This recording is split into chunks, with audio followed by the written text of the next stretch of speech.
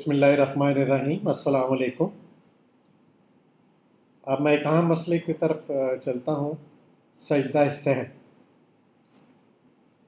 سجدہ صحب اس کی مختلف حالتیں ہیں۔ تو پہلی حالت کا میں ذکر کرتا ہوں، جیسے تین یا چار رکعت کے شک پر سجدہ۔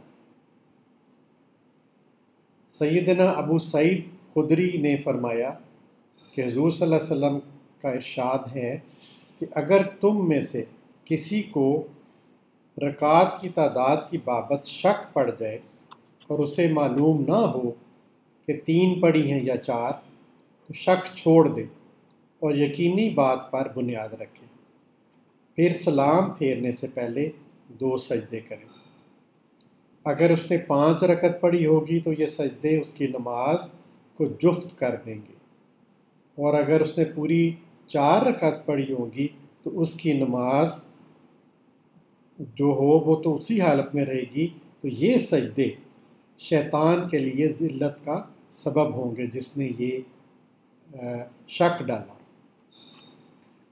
اب جس شخص کو نماز میں یہ شک پڑ جائے کہ آیا اس نے ایک رکت پڑھی یا دو، تو وہ اسے ایک رکت یقین کرے۔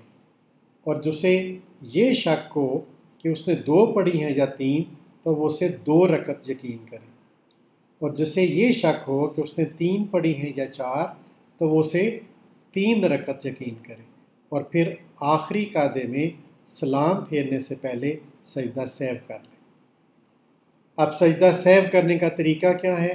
کہ آخری قادے میں یعنی تین رکعت ہوں یا چار رکعت ہوں، جب آخری آپ اتحیات میں بیٹھتے ہیں، تو تشہد، پھر درو شریف اور دعا پڑھنے کے بعد اللہ اکبر کہہ کر سجدے میں جائیں۔